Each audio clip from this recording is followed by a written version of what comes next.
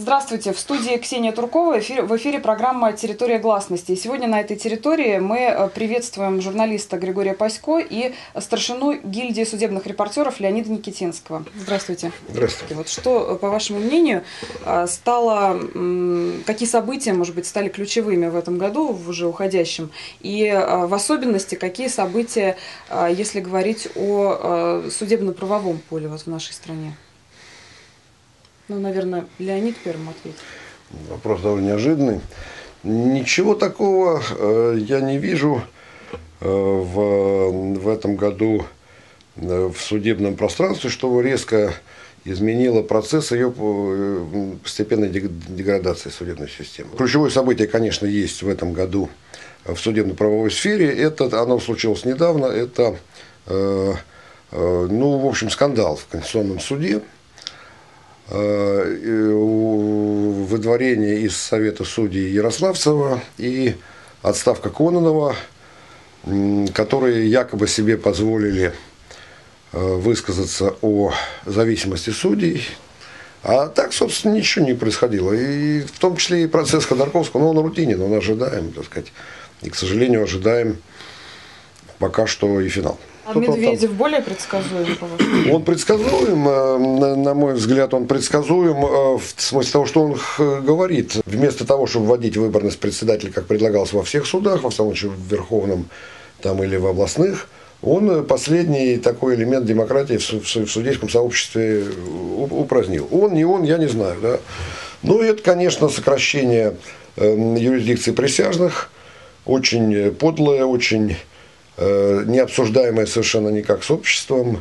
Но ведь говорит же Медведев о модернизации судебной системы. Вот вообще сейчас такое модное это слово модернизация. Все его муссируют, муссируют, вот выйдет вообще из него что-нибудь. Модерниз... А, консервативная модернизация, да. да. Во-первых, телефонного права уже нет давним-давно.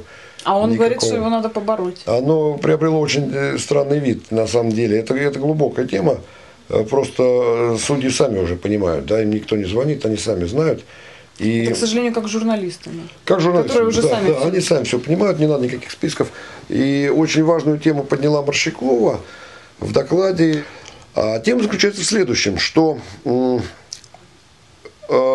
судьи доведены до положения каких-то ну, как бы из студентов их вернули в седьмой класс средней школы. Да? То есть у них нет рамок для того, чтобы быть умными людьми. Любой судья, который проявляет какую-то инициативу и некий разум, да, и выносит такое решение, это решение просто отменяется, он получает галку там, что отмена это всегда плохо. И он оказывается под угрозой увольнения.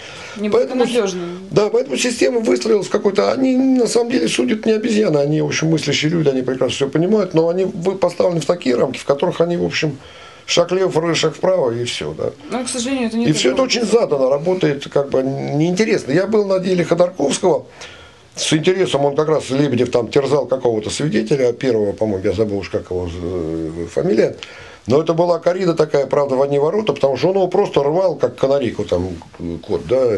И это было очень интересно наблюдать. Э, но этого же, э, это, это, это прекрасный театр не перед кем, да. Если бы это был суд присяжных, все было как бы, да, понятно, оправдано, да.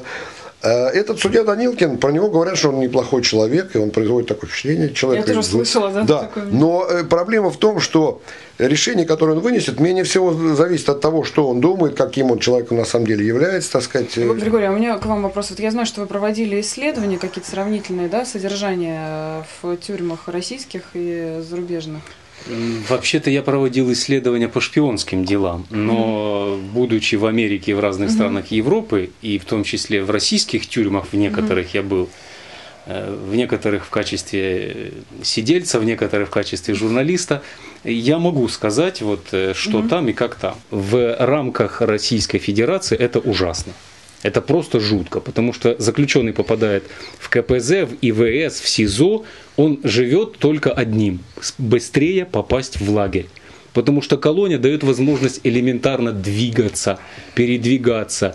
Там еда другая. Там, кстати, и медицинское обслуживание другое. А СИЗО человек еще не виновный, не, не приговоренный судом, он уже попадает в условия фактические, равные особому режиму. Вот что такое у нас СИЗО.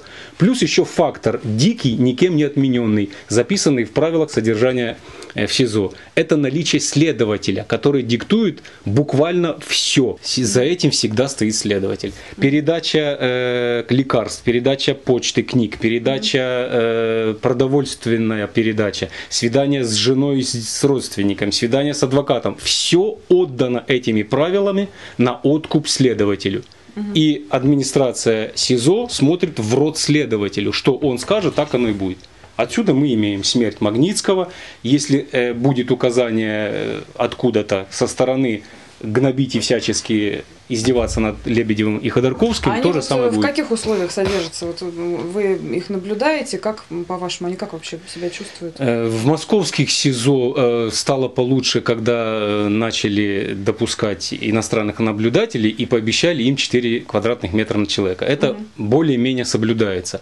Но с, чем сравнивать? Если сравнивать с красноярскими тюрьмами или с Владивостокскими СИЗО, то в Москве получше э, еда, получше там э, обеспечение э, простынями какими-то, но это все далеко от того, что считается нормой, допустим, в Европе, куда Россия все время смотрит. И, кстати, этой реформой предусмотрено огромное э, количество денег выделить гуиновским работникам на то, чтобы они изучали тот заграничный опыт. Гриша еще забыл сказать следующее, что есть еще такой аттракцион, как доставка в суд.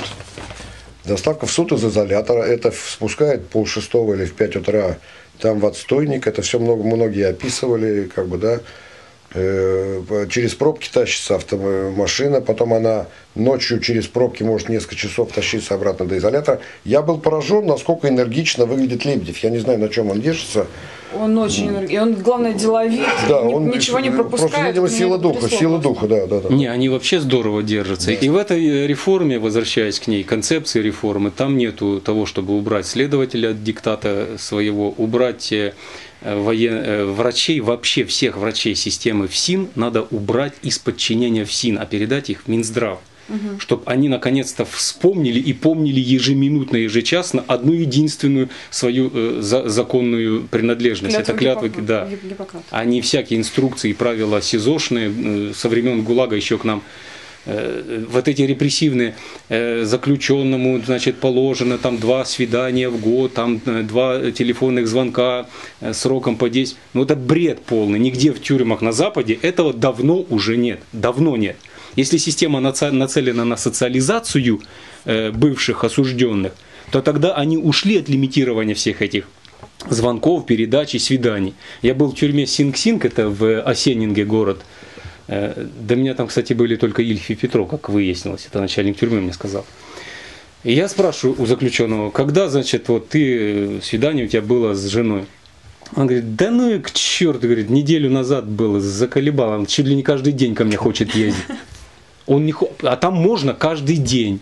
И звонить можно, телефон висит, бросил э, квотер этот, и, и звони сколько влезет. Пошел в баскетбол, поиграл.